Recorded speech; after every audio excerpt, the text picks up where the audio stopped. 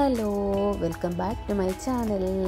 ഇന്ന് നമ്മൾ പിള്ളേർക്കും മുതിർന്നവർക്കും ഇഷ്ടപ്പെടുന്ന നല്ല അടിപൊളി ഒരു ചിക്കൻ ഫ്രൈഡ് റെസിപ്പിയുമായിട്ടാണ് വന്നിരിക്കുന്നത്.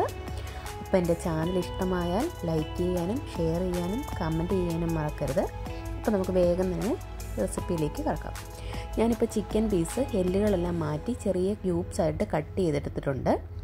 ഇനി നമുക്ക് മസാല ഉണ്ടാക്കാം. വെളുത്തുള്ളി തൊലിയോടുകൂടി രണ്ട് മൂന്ന് വെളുത്തുള്ളി എടുത്തിട്ടുണ്ട്. ചെറിയ രണ്ട് മൂന്ന് കഷ്ണം ഇഞ്ചി എടുത്തിട്ടുണ്ട്. അര ടീസ്പൂൺ വേഞ്ചീരകം എടുത്തിട്ടുണ്ട്. അര ടീസ്പൂൺ മഞ്ഞൾപ്പൊടി പിന്നെ കറിവേപ്പില.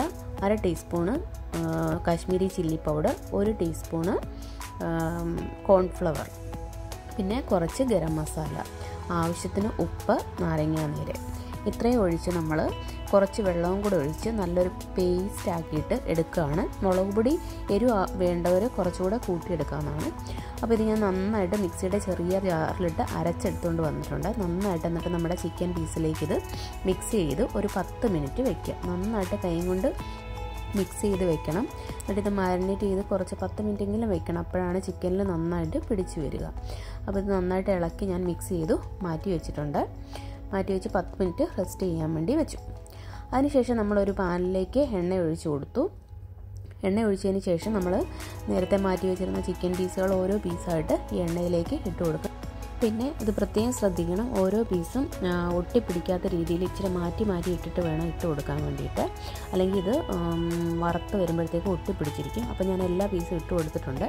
എന്നിട്ട് ഒന്നേലൊന്നും തൊടാത്ത രീതിയിലൊന്ന് ആക്കിയിട്ട് ഒരു നന്നായിട്ട് ഒന്ന് ഒരു അഞ്ച് മിനിറ്റ് അടച്ച് വെച്ച് ഒന്ന് വേവിക്കണം. അഞ്ച് മിനിറ്റ് ആയിട്ടുണ്ട്. ഞാനിപ്പോൾ അത് തുറന്ന് നോക്കി. അപ്പം ഒരു ഒരു വശം നന്നായിട്ട് മൂത്ത് വന്നിട്ടുണ്ട്. ഇനി നമുക്കിത് തിരിച്ചിടണം. നന്നായിട്ട് മൂത്ത് തീ ലോ ഫ്ലെയിമിൽ വെച്ചിട്ട് വേണം ഇത് കുക്ക് ചെയ്യാൻ അല്ലെങ്കിൽ ഇത് കരിഞ്ഞു പോകാനുള്ള ചാൻസ് ഉണ്ട്. അപ്പോൾ ഞാൻ എല്ലാ പീസും തിരിച്ചു ഇട്ട് കൊടുത്തു. എന്നിട്ട് ആ വശം മൂത്തതിന് ശേഷം നമുക്ക് പിന്നെ വീണ്ടും ഒന്നും കൂടെ എല്ലാം കൂടെ ഒന്ന് മിക്സായിട്ട് ഇളക്കിയിട്ട് കൊടുക്കാം. അപ്പോൾ അതാ നന്നായിട്ട് ചിക്കൻ ചിക്കൻ ഫ്രൈ ആയിട്ട് വന്നിട്ടുണ്ട്. കുറച്ചുകൂടെ ഒരു ക്രിസ്പി ആകുന്നവരെ ഞാൻ ഇട്ടിട്ടുണ്ട്. പിന്നെ അതിലേക്ക് കുറച്ച് കറിവേപ്പില ചേർത്ത് കൊടുക്കാം. കറിവേപ്പില നല്ല ക്രിസ്പി ആയിട്ട് വരുന്ന പരുവാകുമ്പോഴത്തേക്കും ഇത് നമുക്ക് അടുപ്പിൽ നിന്ന് കോരിയെടുക്കാവുന്നതാണ്. നല്ല ടേസ്റ്റാണ്. കുട്ടികൾക്ക് ഏറ്റവും ഇഷ്ടപ്പെടും.